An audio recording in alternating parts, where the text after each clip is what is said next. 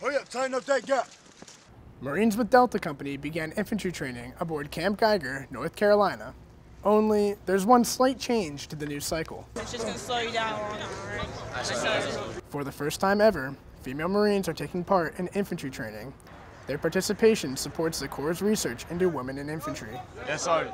Us putting these Marines through through ITB is no different than what we're doing at MCT. Every Marine's a rifleman.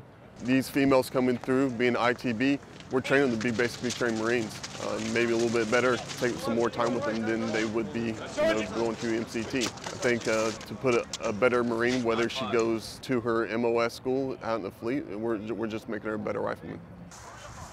Uh, within Infantry Training Battalion, we are holding everyone to the same standard. So there's no male or female, it's just the standard for Infantry Training Battalion.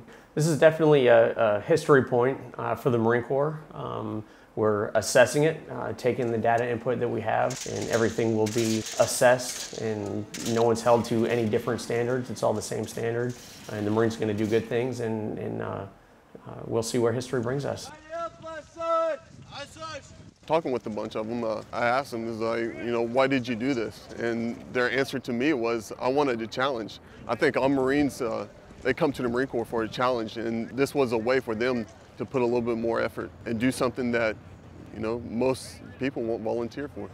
Reporting from Camp Geiger, North Carolina, I'm Lance Corporal Clayton Filipovich.